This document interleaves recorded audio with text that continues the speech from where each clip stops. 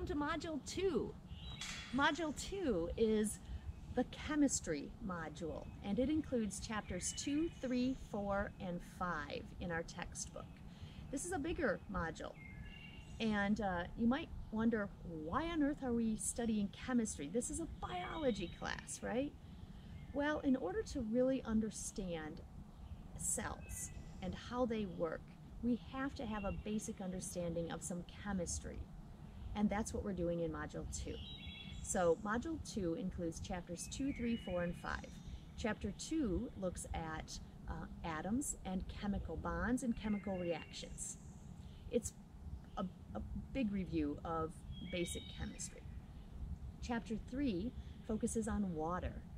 Water is critical for life on Earth.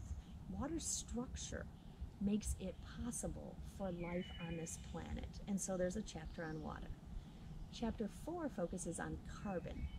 Now, carbon is the element that forms the backbone of all biological molecules that make up life on the planet.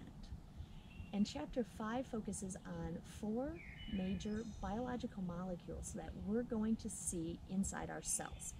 Things like lipids and carbohydrates and proteins and nucleic acids.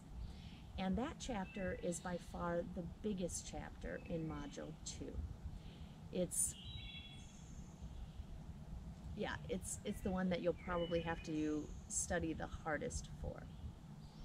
So why are we sitting out here in the woods? Actually, we're out here on Grand Valley's campus and in one of the ravines Grand Valley has just a fabulous place for you to explore. But I'm sitting out here in amongst the trees and listening to the birds and seeing squirrels scurry by, and I'm reminded that all of this life, all of life on this planet is based on the molecule carbon. The I'm sorry, the atom carbon. And all the, of the molecules inside these big trees, inside us, inside the birds we hear, are based on or, or have carbon as uh, their, their backbone. And so that's why I'm out here. Plus, you can see a little bit more of your beautiful campus. All right, so that's Module 2. Talk to you soon.